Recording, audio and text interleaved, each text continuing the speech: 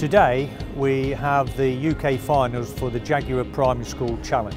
We're here at the Ricoh Arena in Coventry. Uh, Coventry also headquarters to Jaguar Land Rover. It is focused at primary school children to get them in, excited into engineering, but specifically science, technology, engineering and maths. Morning, everybody, and welcome to the Jaguar Primary Schools Challenge UK National Final for 2015. Sorry, I couldn't quite hear. Did that get you excited? Yeah!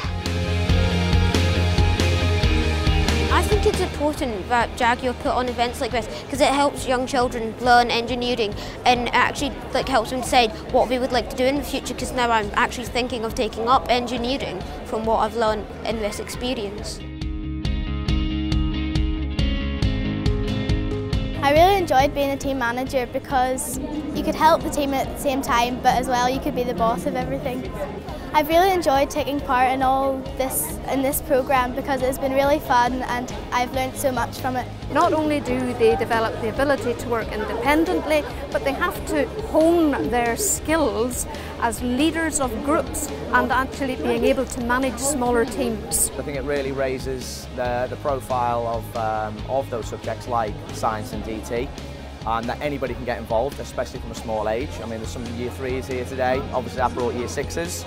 Um, I know there's a real kind of shortage of girls involved in engineering and as you can see the, the team I've got today is all girls. I just think if you look around and the wonderful array of work on offer you can just see how successful this project is. We've all heard about the, how well the UK is doing at the moment and there's a massive demand for engineers right across, not just Jaguar Land Rover, but across all of industry.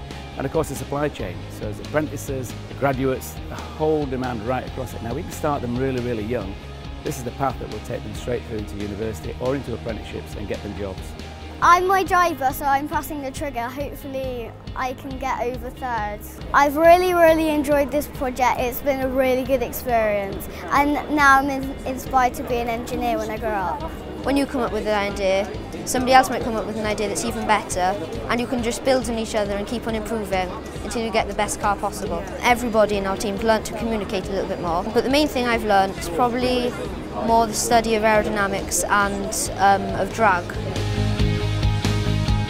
It's going to be a really great day today, lots of excited children showing us what they've designed, what they've made. Uh, this is a real opportunity for them to showcase and really enjoy what, what they've been doing all, all year at school. Good luck to all of the children today. Have we had a good day?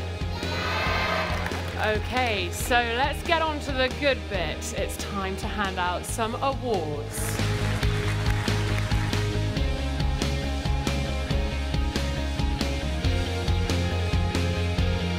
Moment we've all been waiting for, what you've all been racing for today, the new UK national champions for the Jaguar Primary School Challenge 2015 are Team Mint and the world record holders. Woo!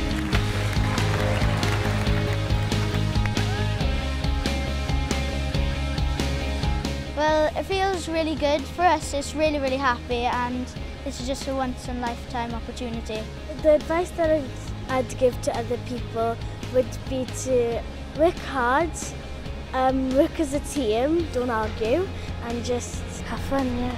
To break a world record is just outstanding. Like, nobody has ever broke the record before me, just smashed it.